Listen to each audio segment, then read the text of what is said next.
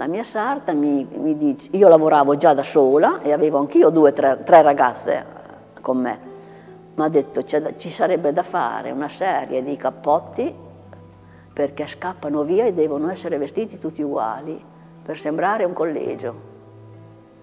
Però non si prende niente, eh? si lavora gratis. E allora dovevamo fare questi palettò lunghi, lunghi, fino ai piedi, erano verde scuro scuro, mi ricordo. Marron, tutti uguali. Perché c'era stata, mi sembra, un, una soffiata di dire che questi qui dovevano andare via prima del tal giorno perché stavano arrivando i tedeschi. Allora io sono andata con le mie tre ragazze, lei ne aveva due, è venuta un'altra sarta, insomma ci siamo radunati in dieci e abbiamo fatto 40 cappotti in una settimana, tutti uguali, abbiamo lavorato così. Eravamo poi 7-8 perché c'era la, la Cesarina, c'era la Dede, la Nera e poi c'era la Lauretta, poi chi c'era? Che sì, eravamo in 7-8 insomma.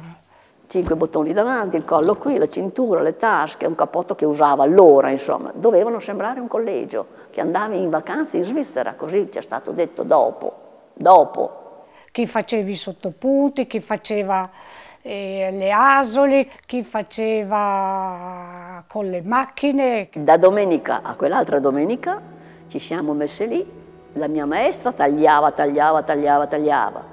Due sarte con le macchine cucivano sempre, io stiravo perché lavorando bisogna anche stirare per proseguire il lavoro e le altre più, più piccole, più giovani, sottopunti. Io ero la più piccola, ma tante di quei sottopunti, poi è andata bene che sono arrivati poi a destinazione questi ragazzi una mia amica ha fatto 40 cinture, perché erano 40 cappotti, ci voleva 40 cinture, e, e 80 tasche, perché aveva, lei ha fatto le tasche. Un'altra ha fatto tutte le asole, un lavoro a catena, ecco. Donna Rigo ci aveva fatto avere questi rulli di stoffa e da lì si, si faceva la lavorazione, si tagliava un po' in base alle medie, piccoli, meno piccoli e poi dopo fine i grandi, ecco, con i palettò lunghi così. Quelli che usavano una volta con queste cinture, con quella piega dietro, usavano, mi ricordo, grigio-verde erano. E senza provarli, perché tagliare sti cappotti, la mia maestra li conosceva un po' tutte. Queste, erano ragazze che dovevano indossare questi cappotti, eh? non i maschi li conosceva un po', però fra di noi c'era una ragazza che era, era sfolata a Nonantola ed era di Nonantola, però da alcuni anni lavorava a Milano e ci insegnò le taglie come vanno fatte, insomma, un, paltò, un palettò lungo così, ci vogliono le maniche lunghe così, circa, perché noi facendo i lavori su misura, allora non si sapevano le taglie come erano, taglia 42, taglia 44, Adesso c'è una regola, è vero? Eh. Era un'avventura, un gioco, non si, non si capiva bene allora, anche perché mm, io poi ero timidissima, ero piccola, venivo dalla campagna, le altre erano più grandi, erano più vispe, forse loro hanno intuito anche tante più cose che me ha capito, perché io ero timidissima da, da bambina, insomma. I cappotti non li abbiamo mai provati, 40 cappotti, solo che ce ne sono venuti 39, quello dei 40 ci mancavano le maniche. E allora una signora, che non mi ricordo chi fosse, ci ha fatto le maniche di lana, di, di, sto, di, ma, di lana così, perché era un rotolo di, di, di stoffa così marron, tutti uguali.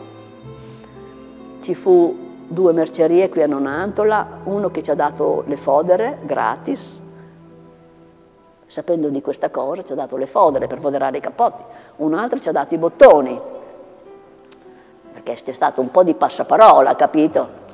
Però non, non una gran, una, delle gran chiacchiere, ecco, abbiamo, e poi anche noi non ci pensavamo neanche più.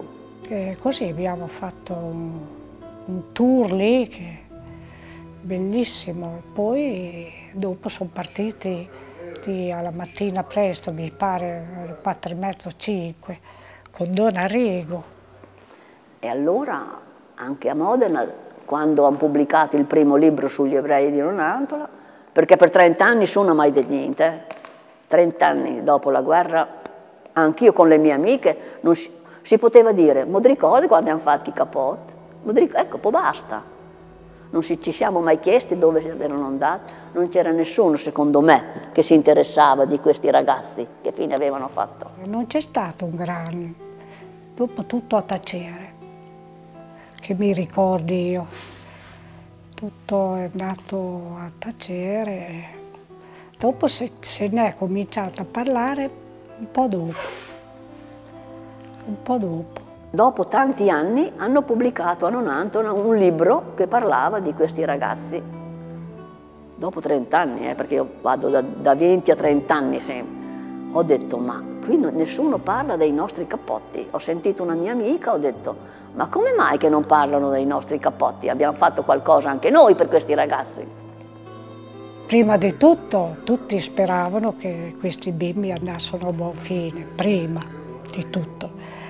E poi tutti in compagnia così, giorno e notte, facevamo i turni a riposarsi, ha capito?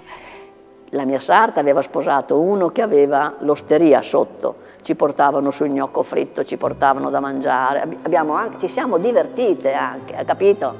In dieci, lavorare in due stanze, aperta la camera da letto della mia sarta perché mettevano lì, insomma, è stata una cosa anche proprio vissuta bene.